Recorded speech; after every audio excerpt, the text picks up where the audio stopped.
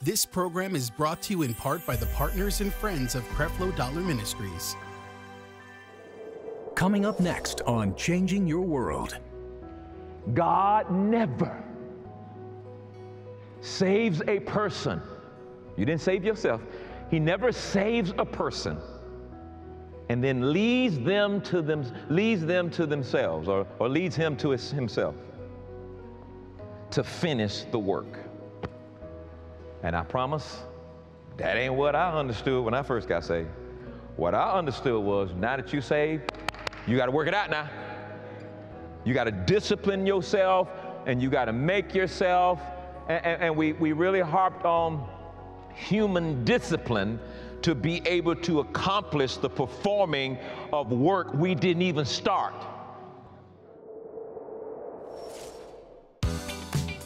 Charlotte, North Carolina. Are you ready for Change Experience 2023? Join Creflo Dollar and the World Changers Nation live on Friday, June 9th to get Psalm 91 equipped. Come worship with us and hear the life changing message of grace in person. Seating is limited. Register now. Text Change 2023 to 51555. Scan the QR code or visit CrefloDollarMinistries.org. This is your world, so let's vow to make it a better place.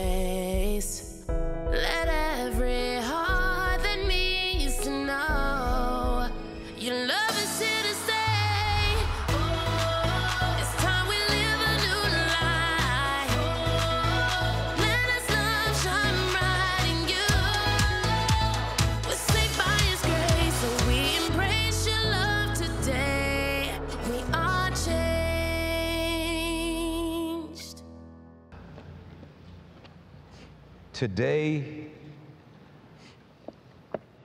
may be the one of the not greatest challenges because of the level of difficulty, but today may be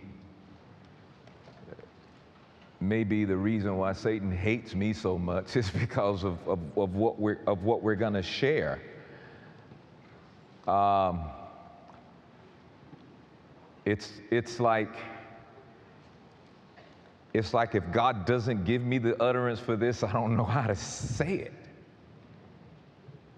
And that's why I say that challenging in, in no other aspect except to just rest in, in confidence um, that I'll have the utterance to say this to you. And so, you know, I, I got up this morning and he says, You're not going to say what you hadn't said already? I said, Lord, I don't recall saying this. He said, Go get your notebook. Look at the first and the second message in the series from 2022. And I did, and I'm like, Oh my goodness, there it is. I said, Did I say it? He said, Yeah, you said it. And they heard what you said, but it wasn't time for them to get the revelation of it. I said, okay.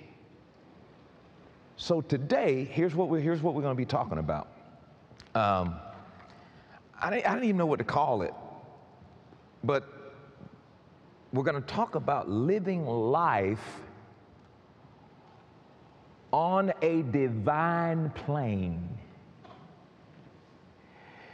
There is a divine level of life that only comes through the discipline of grace.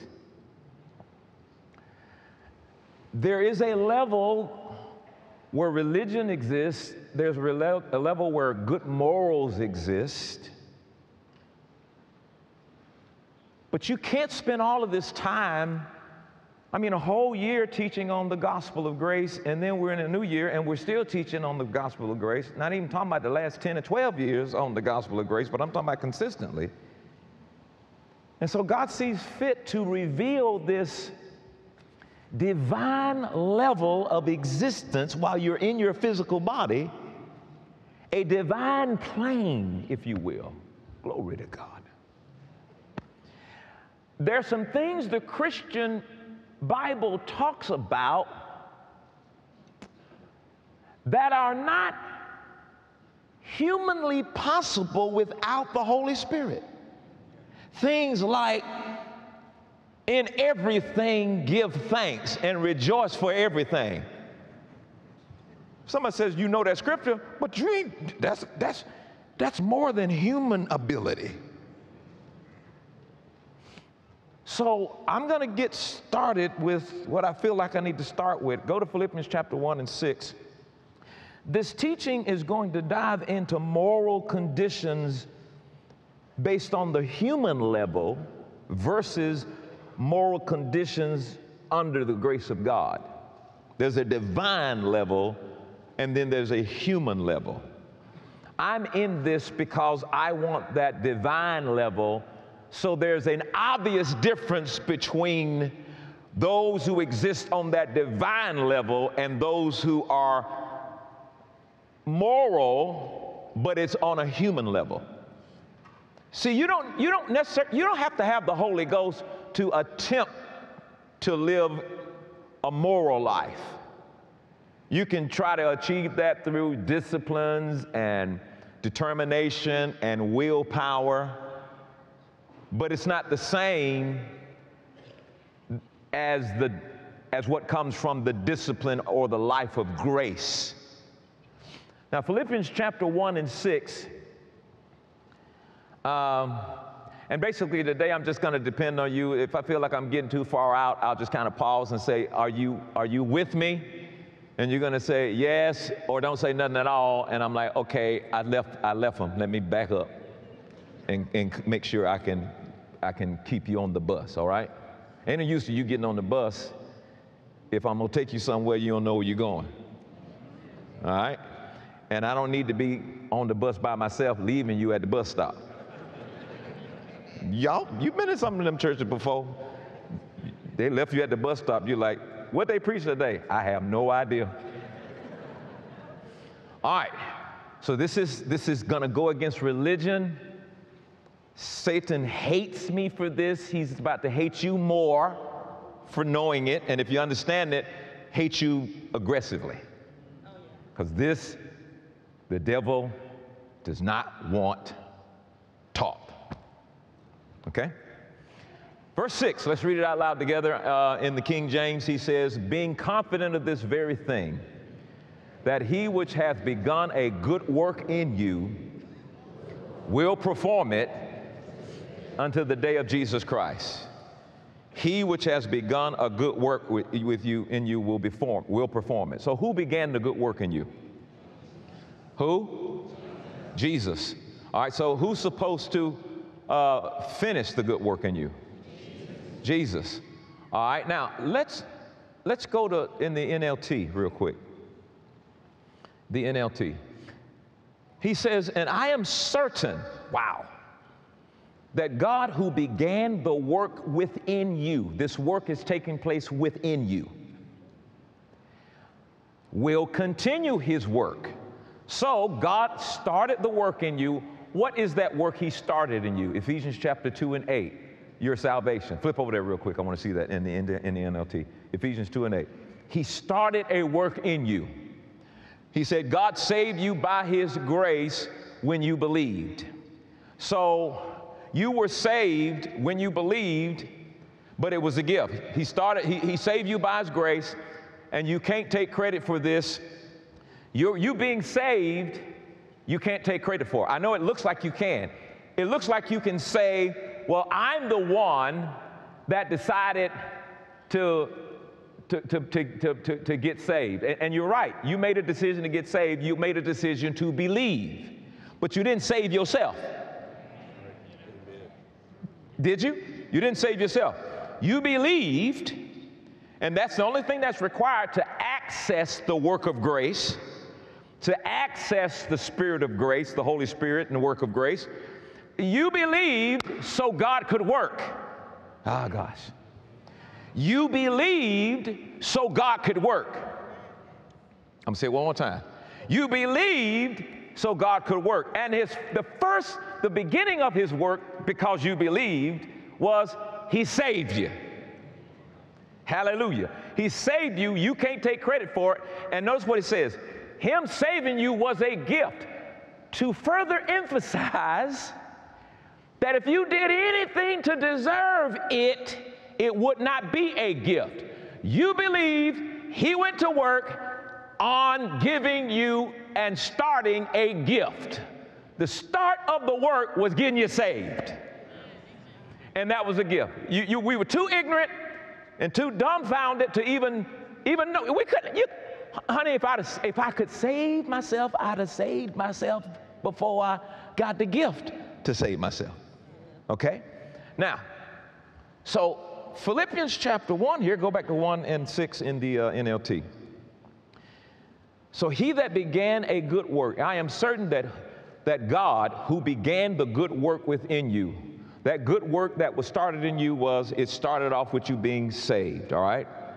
And now watch this. The beginning of the work was saved by grace. The performance of the work, all right, so God is not only committed to the beginning of what started in you, He will also continue that work. He will perform that work. I'm listening to this, I'm like, what? You doing all of this? I thought I was supposed to be doing all this. And he says, no, I started it, I'm performing it. So, though the beginning of the work was saved by grace, the performance of the work is disciplined by grace. So, what God is going to do, He started the work saved, and He's going to perform the work disciplining you, disciplining your life, getting you to a point where you're disciplined in doing what's right by the grace of God. You go to bed with one desire, you wake up a week later and you don't want that no more. Or you went to bed, woke up, you kept doing something, but now, check this out. Now you're doing something that didn't used to bother you. But now that he started to work, it's now all of a sudden convicting you.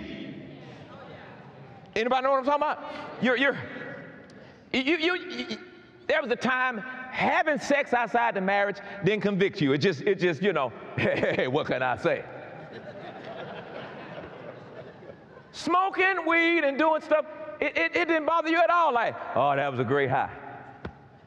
And then you messed around and believed, and he started to work in you. Now, all of those things that you had a desire to do and that didn't bother you at all, and it was labeled as a good time, for some reason, all of a sudden, now you're feeling bad about it. Now you're feeling guilty. Now you're feeling convicted. Or I like this word better. You're, you're feeling convinced. What are you being convinced about? That, that I'm convinced that I don't need to do this. That's why you need to leave everybody alone. Because until they get convinced, you sure ain't gonna convince them.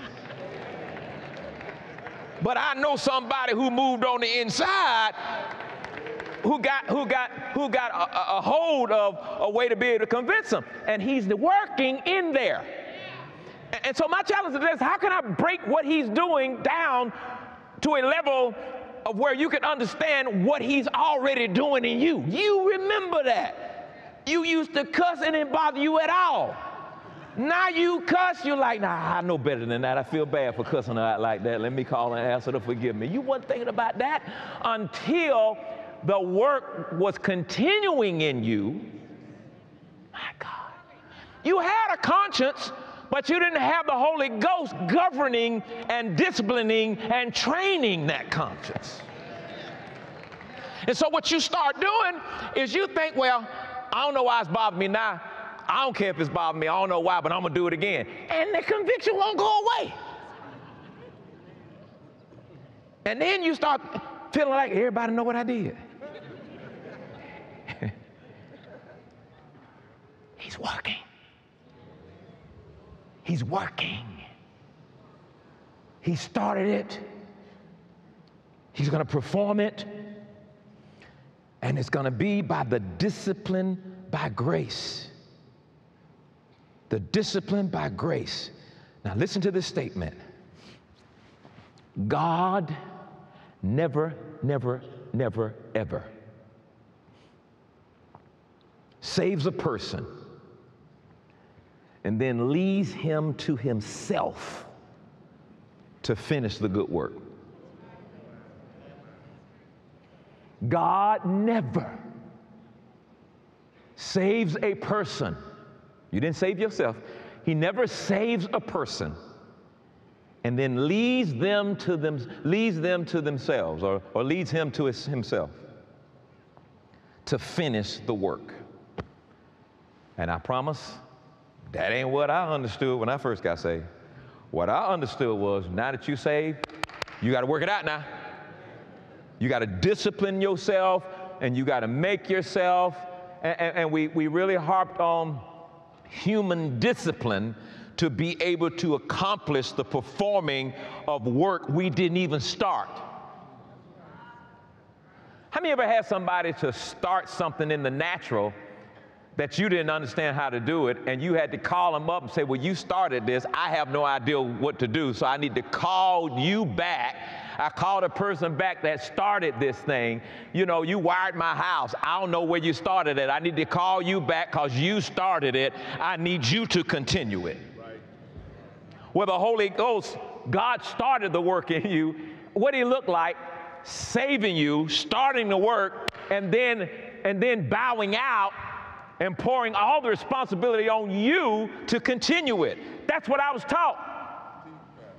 That's what I understood. I don't know if I talked or I just thought that's what I was supposed to do. Now that I'm saved, here's what I did. Now that I'm saved, can't do this, can't do this, can't do that, can't do this, can't do that. Sure can't do that no more. Oh, absolutely can't do that no more. Okay? As if by me making a list that that was going to be worked out of me. And it worked out. I made a, I made a list one time. I made a list of 10 things one time, broke all 10 for the weekend. and then I'm like, I'm like, I'm like, who can do this? Who can do this? I didn't start it. He started it. He needed to finish it. So what I what I what I've come to realize over the years is this. I am obviously in his way. I still think in my head that I can finish this and I can continue something I didn't I can't even start. I don't even understand all this. All right, now, watch this carefully. Look at Psalms 138 and 8. Uh, look at it in the King James and then the NLT. All right, now I'm taking my time on this right now. I've been stuck on one line. I am not rushing this at all, but are you on the bus? Okay.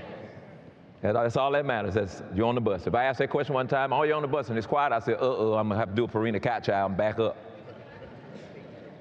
Check this out the Lord will perfect or bring to maturity that which concerneth me.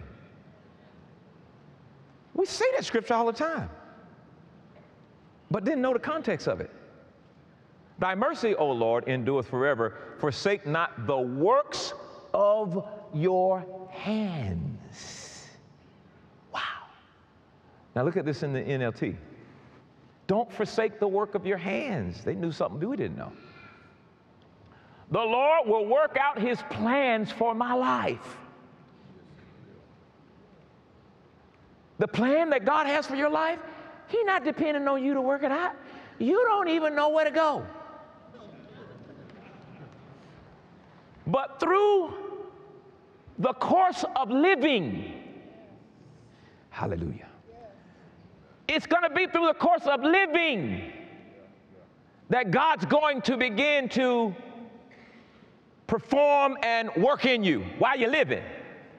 Because while you're living, you give him access to all the stuff that comes through life, and he now can use all of the stuff that comes through your living as, as, uh, as uh, equipment to be used as courses to take you through to either work something in you or work something out of you. That's why it's important for you to live. That's why it's not important for you to go in a cave somewhere talking about I'm saved and I'm gonna just disconnect from everybody. No, you need everybody, everybody that he put you with to, to, so that God can use all them people to work stuff and to perform stuff in your life. You're not to accomplish nothing by just becoming this little hermit and just idle and I ain't doing nothing. I ain't standing around this and I ain't doing that. And I'm to quit that job because all them unsaved people there.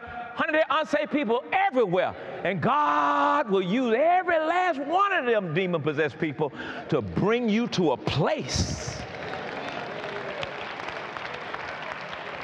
I don't know what it is about Christians. We always trying to run away with something, run away from something so we can get around. I'm, I want to get around some Christians every day. You, you can't grow if you're around. Well, yes, you can. Some of these Christians. Shoot, some, yeah, sometimes I'd rather be around some sinners than I mean. So, yeah, you can grow. So he'll put you around all kinds of folks. He'll put you, he'll put, he'll put you around Christians and you know, he'll put you around all kinds of folks. Amen. but you don't stop living while you're waiting on God to finish the work. Okay? You don't just stay away from everybody and pray. You pray while you're living. You pray while you're in hell. You praise when you're not so much in hell. You thank Him while you got a break. And then when some more hell come, this is course 102. And then you take a break, graduate, celebrate, and then course 103 coming. And so you finish with that level, now you're ready for course 200. They talking about you now. They slandering, how they used to say, scandalizing your name. All of that, that's course 200, all right? Course 201 is when Freddie said he loved you and Freddie used you and left you alone and broke your heart. That's course 201. That's course 201. And he's content, he's using all the stuff. Now you're broke, busted, and disgusted. Course 203 because ain't no use to you having these courses, hallelujah. If you, if you listen, God wants to show you how to work out each course. He wants to, uh, now I can build you. Now I can teach you. Now I can mature you. Now I can, uh, you see, see, by yourself in a cave, you don't think nothing wrong with you. By yourself in a cave, you know you're going to heaven. You away from nobody. You, are away from everybody, and you know you go home, ain't nobody there. So you, you and it's dangerous. Go home, ain't nobody there. So ain't nobody to challenge you. Ain't nobody to challenge you. When the doorbell ringing, and I look at Taffi, I'm like, doorbell ringing. She said, well, who gonna get it? I got it the last time. Well, you can get it this time too, can't you? You, you got to have something to bring out of you the authenticity of who you are and the miles you got to travel to get to a place. And the Spirit of God says, I'm going to help you do that. Because when you go around talking about how awesome you are, then the Holy Ghost whispers, You are so selfish. And refer to a situation in one of the courses and say, See what you did here? See what you did there? Look at there. They told you you couldn't sing and you quit the church. You ain't ready.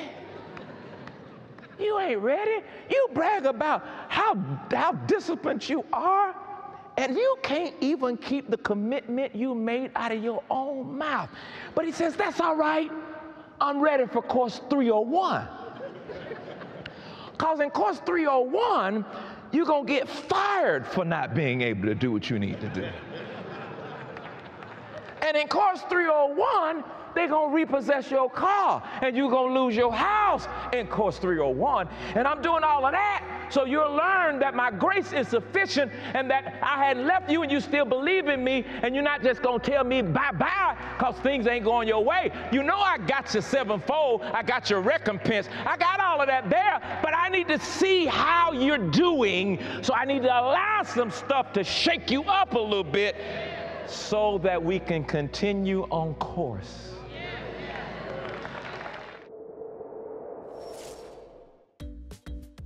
Does your lifestyle reflect who you are in Christ? God wants us to live on a divine level, but that's impossible with our human ability. In the series Living Life at God's Altitude, Creflo Dollar leads us on a journey of discipline through grace. The very purpose of grace is to produce in the believer a life on that divine plane. Thinking of others as better than myself, that's the divine plane. Grace helps me to treat people better than myself. Not to treat people the way I want to be treated, but to treat them better than the way I want to be treated. Only grace can take you there. You can't do it. You can get all three messages today for a love gift of 20 US dollars for CDs or 30 US dollars for DVDs. Simply visit CrefloDollarMinistries.org and click eStore. Scan the QR code or call the number on your screen to get yours before they run out.